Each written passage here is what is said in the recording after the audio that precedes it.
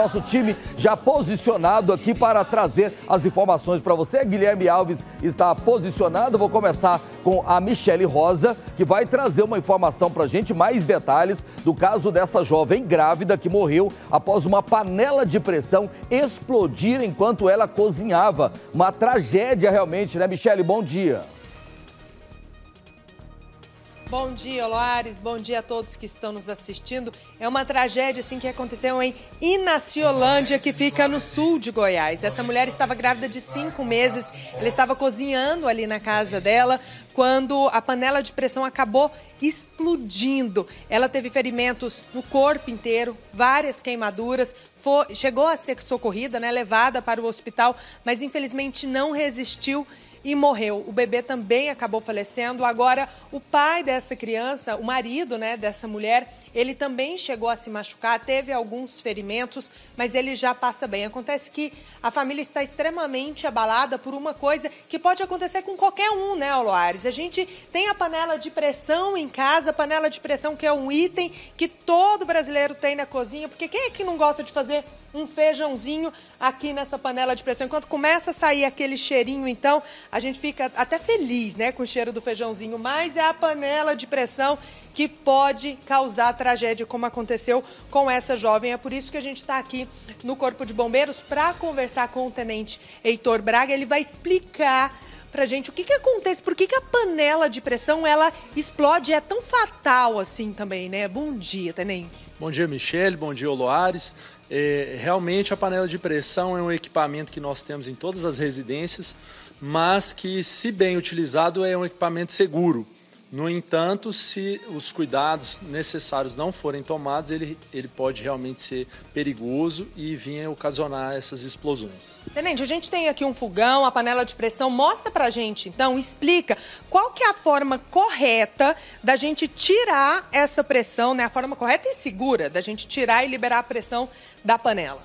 É, a população tem o costume de usar a água da torneira, né? E isso é uma situação. Primeiramente, a gente atenta que na hora de adquirir a panela, é necessário que, que a, a pessoa verifique se a panela é certificada pelo Inmetro. É, e o fabricante também, no manual de instrução, ele dá as orientações corretas para a retirada da pressão do equipamento de forma segura.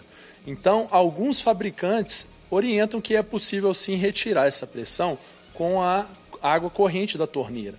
Mas isso não é, é em todos os equipamentos. Então é necessário verificar se o seu equipamento comporta esse tipo de procedimento e também a questão da retirada da pressão com a válvula de controle. Né?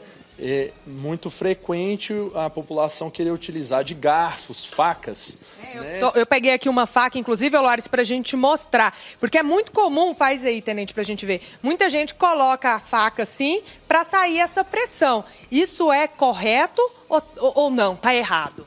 É, não está necessariamente errado, mas é necessário utilizar de um, de um utensílio né, que realmente não conduza calor né? No caso, uma colher de, de silicone, né? Ou, ou, de madeira. De alumínio assim, então nem pensar, é melhor evitar. É melhor evitar porque pode é, ocasionar um aquecimento né, na mão do, do usuário e isso pode ocasionar também um susto que pode, inclusive, derrubar a panela no chão e, e provocar um acidente. É, o senhor falou sobre a panela cair no chão. Uma vez que a panela cai no chão, ela já não presta mais, ela já deve ser descartada? É, realmente essa é uma situação grave porque avarias nessa, nesse casco podem sim comprometer a sua segurança. Então a orientação é que se a panela caiu no chão, realmente ela deve ser substituída. Agora, e esse pino azul que a gente vê aqui, o que, que ele indica? Porque também muita gente acaba ignorando ele, tenente, em casa. Sim, isso não pode ser ignorado. Essa, essa é uma válvula que a gente chama de válvula de segurança e ela serve para funcionar e aliviar a pressão caso a válvula de controle venha a se entupir e não funcionar. E, e ela também precisa de manutenção. Então, o fabricante vai indicar com que frequência é necessário substituir essas peças. Além dessas duas válvulas, a borracha também de vedação, que fica aqui, ela também é um, um elemento essencial de segurança. Tem que checar para ver se está tudo certo. Tem que checar se ela estiver ressecada, danificada, tem que ser substituída e também tem prazo de validade. Então, em caso de um, dois anos, o fabricante vai indicar qual a frequência que ela precisa ser substituída. Outra situação que pode acarretar acidente é a colocação incorreta dessa borracha. Às vezes ela é colocada na posição contrária, o que provoca uma má vedação e uma perda de pressão em, em, um local que não deveria acontecer. Ou seja, na hora que vai lavar a vasilha, né, acaba tirando essa borracha e não coloca de forma adequada. Exatamente. É, e na hora de guardar também, é, muitas pessoas guardam a panela dessa forma, com a borracha presa dentro do armário. Isso provoca um desgaste da borracha desnecessário e que pode comprometer a sua vida útil e a segurança. Então, o ideal é, após lavar, retirar a borracha, né? deixar ela do lado de dentro da panela e fechá-la sem a borracha. Dessa forma, nós preservamos a borracha por mais tempo e assim também a sua segurança. Olha só, um detalhe que faz toda a diferença. Né? Exatamente. Então, é, é, o principal é, é, elemento que causa explosões é também o conteúdo da panela, o volume de alimento que é colocado dentro da panela. Então, os fabricantes hoje todos indicam dentro da panela uma marca com o limite máximo. É, essa panela é velha, não tem, é, mas nos, na, nos modelos que não tem a marcação do volume máximo de água e conteúdo, a, é, o fabricante indica que é cerca de dois terços da altura da panela. Mais ou menos aqui no meio da panela. Então. Isso, é, é, de forma mais segura, principalmente com alimentos que é, aumentam de volume, como feijão, arroz, é recomendado não ultrapassar a metade da, da, altura da panela. Agora, tenente, eu tenho uma dúvida. Isso porque, Loares, eu sou o tipo de pessoa que nem tem panela de pressão em casa, porque morre de medo desse utensílio, uma vez que a panela tá ali, no fogão, né? Tá com. Eu coloquei a comida, enchi de água, liguei o fogo e a panela de pressão começou ali a apitar. Quais são os sinais que essa panela de pressão vai me dar de que tem algo errado? E como que eu vou retirar essa panela de pressão daqui para eu abrir em segurança, porque o senhor já explicou que a gente verifica ali com um tecido de acrílico, às vezes pode colocar debaixo d'água, mas como que eu tiro pra, de forma segura para não acontecer nada de ruim? Primeiro de tudo, é, e, e, uma das orientações de segurança mais importantes é a limpeza e manutenção dessa panela. Então, o alimento ele entope o duto des, dessa válvula e também entope os canais da válvula. E isso também pode ocasionar explosão. Então é necessário que o usuário sempre faça a limpeza né, com, com um arame fino desses, desses canais de saída do, do, da pressão para que ele funcione perfeitamente. É, então, no caso, com a panela em funcionamento, é necessário observar que ela vai começar a chiar.